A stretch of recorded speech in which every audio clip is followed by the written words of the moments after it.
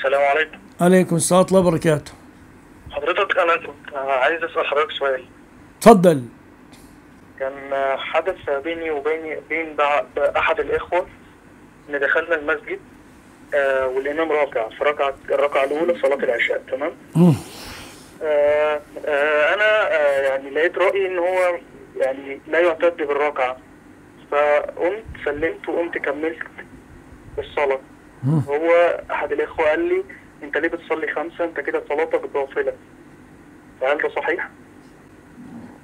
لا ليست باطل دي مسألة اجتهادية. أن هناك من العلماء من يعتقد أن من لم يدرك الركوع لا يحتسب الركعة كالبخاري ومنهم من يقول وهم الجمهور من أدرك الركوع فقد أدرك الركعة. فالمسألة خلافية وبأي بأي الرأيين أخذت فلا جناح عليك.